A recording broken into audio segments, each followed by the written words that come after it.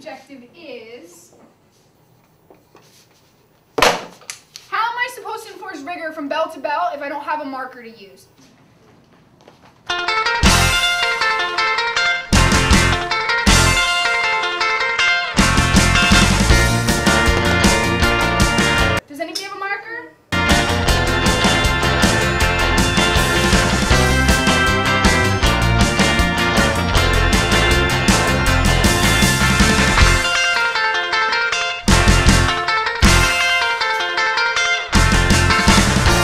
No need to fear the Yick Fairies here.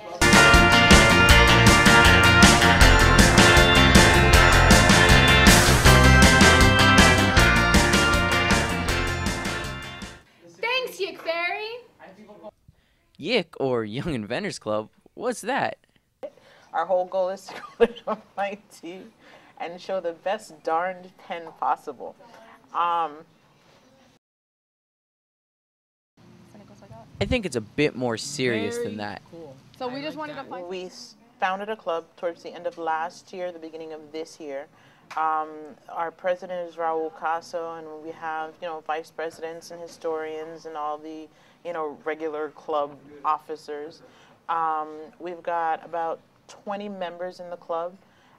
They're a first year club and already in a competition. We submitted our application around October, and we enrolled in the competition.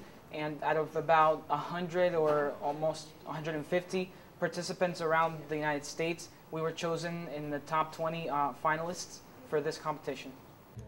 With its two swirling chambers, twist top design, and everlasting ability, this invention could make history.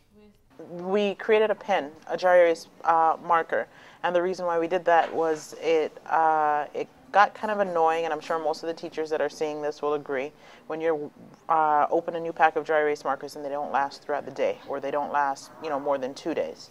Um, so we got tired of throwing them out, especially since a pack of dry erase markers can cost up to ten dollars. I mean, every week spending ten dollars on the markers.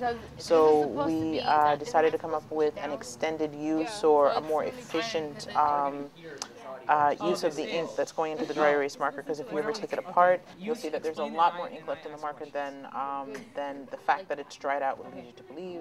I think we have uh, come a long way from just um, an idea on a piece of paper, and now we actually have been creating um, sculptures, and we are in the middle of buying um, materials to make the marker and to actually um, have something that we can show the MIT um, representatives and our school.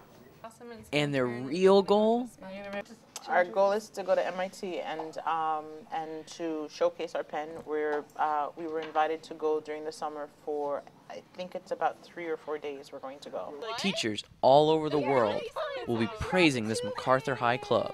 Thanks, Yick. Here's the plan, man. Kyler Luongo, MTV.